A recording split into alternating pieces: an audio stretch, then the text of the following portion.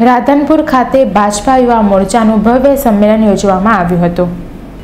ગઈકાલે રાધનપુર ખાતે ભાજપા યુવા સંમેલન ગુજરાત પ્રદેશ જીતુભાઈ વાઘાણીના અધ્યક્ષસ્થાને યોજાયો હતો જેમાં પ્રદેશ યુવા પ્રમુખ ડોક્ટર ઋત્વિકભાઈ પટેલ મંત્રી દિલીપભાઈ ઠાકોર સહિતના મહાનુભાવ ઉપસ્થિત રહ્યા હતા. વિકાસ કાર્યોની ચર્ચા ઉપરાંત આવનારી લોકસભાની ચૂંટણી મુદ્દે પણ ફરી ભાજપાની સરકાર રચાય તે માટેના પ્રયત્નો હાથ ધરાયા હતા.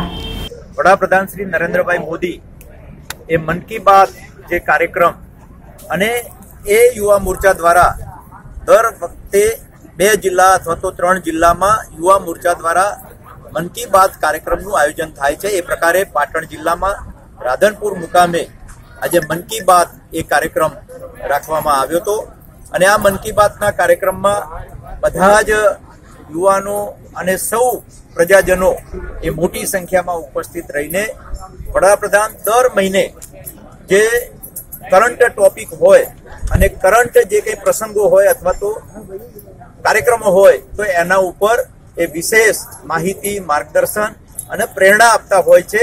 એ પ્રકારેનો આજે કાર્યક્રમ અહીંયા રાધનપુર મુકામે આજે યોજાયો હતો. અને આજે એમને શરૂઆત કરી ત્યારે રાષ્ટ્રીય મતદાતા દિવસ.